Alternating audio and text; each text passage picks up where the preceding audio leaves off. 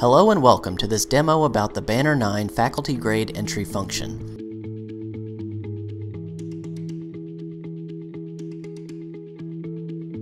You will arrive at the faculty grade entry final grades, where the tab for the final grades will be highlighted. If you need to enter midterm grades, click the Midterm Grades tab. Note that all courses you taught in previous semesters will be listed, as well as the courses you are currently instructing and courses for future semesters. The courses are sorted by CRN, but you can sort any column in ascending or descending order by clicking on the arrows at the top of the column. Note that you can sort by one column at a time only.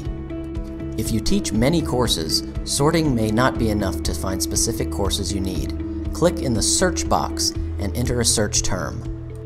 If you are looking for all courses for a particular term, we suggest searching by the term name and year. For example, to see all courses in summer 2019, enter Summer 2019 in the search box. To remove the search, simply delete the search information from the search box. The grading status column shows your progress towards entering your grades. Completed indicates that all grades have been entered. In progress means some grades, but not all, have been entered, which may include grades of W or withdrawn students. Not started indicates that no grades have been entered.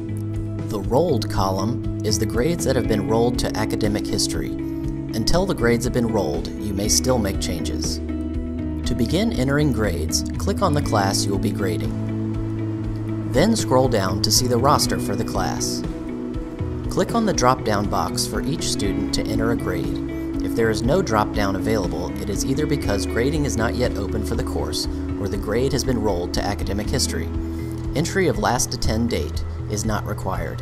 You can continue to enter grades, but please note that you do not need to enter all grades at once. When you are finished entering the grades, scroll to the bottom of the page. Note that the Reset button will clear all unsaved grades. Click Save to submit the grades. A confirmation message will appear on the screen after you have saved.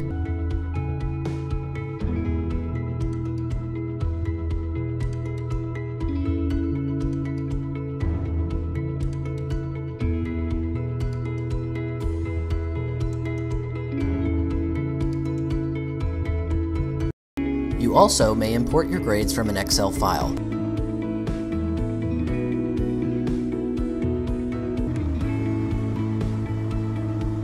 The Excel file must include columns for the banner term code, the course CRN, each student's V number, and each student's final grade.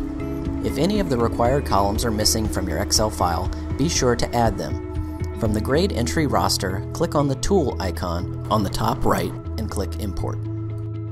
Click Browse to search your computer for the Excel file.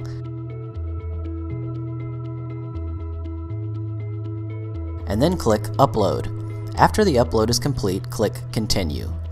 Look at the preview file and confirm accuracy by clicking Continue. Using the Map field drop-down boxes, mark the four required fields, which are term code, student ID, CRN, and final grade. This tells Banner which Excel file columns to import into the final grade sheet. Click Continue. You may then either download the validation report to look for errors, or click the Continue button to finish the upload. When the import is complete, click Finish. You should now reopen the grade roster to ensure the grades were loaded. This concludes our training for Banner 9 faculty grade entry.